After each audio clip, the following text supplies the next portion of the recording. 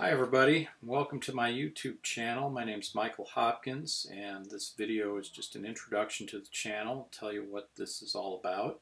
So the origins of this go back to 1995 when I first started a website called the String Pedagogy Notebook. It was based on notes I took in a course taught by Professor Robert Culver at the University of Michigan.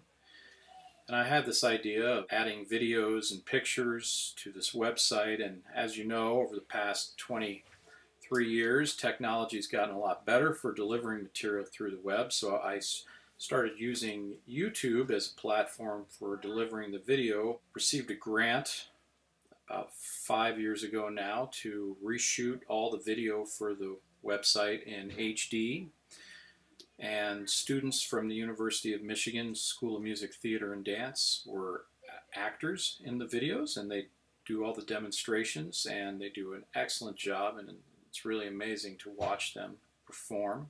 What I decided to do a few years ago was take all the text that was on the website and revise it and edit it and expand on it and turn it into a text that would complement this YouTube channel. Or you can think of this YouTube channel as really complementing the material in the text.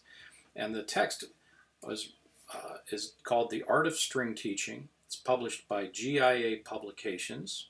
It's in two parts. This is part one, and there's another part two. And it's about 600 pages, and it has tons of useful information for string teachers in it.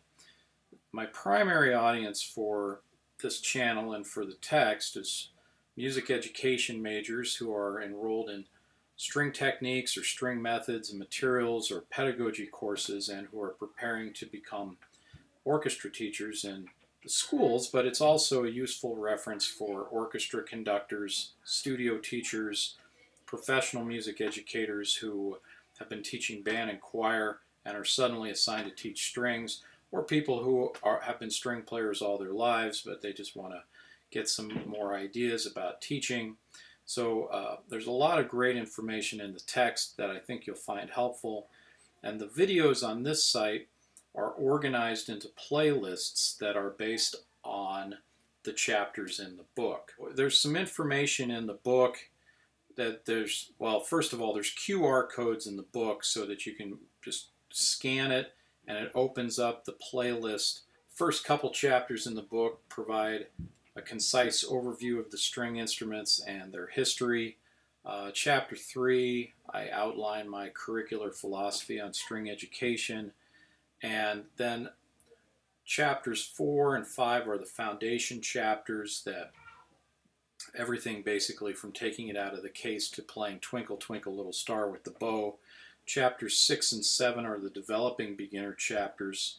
And then chapters 8 through 10 focus on intermediate level instruction and the pedagogy for developing shifting and vibrato and different bowing techniques. And then chapters 11 and 12 describe advanced level instruction in a high school setting. Chapter 13 has information about rehearsing, orchestras, and techniques and strategies to use in rehearsal. And chapter 14 has information about building and maintaining an effective orchestra program in a school with a lot of the information also being really useful for youth, youth orchestras or private studio settings.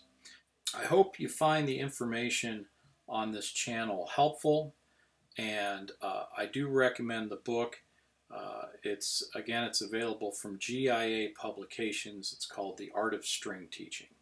All right, enjoy.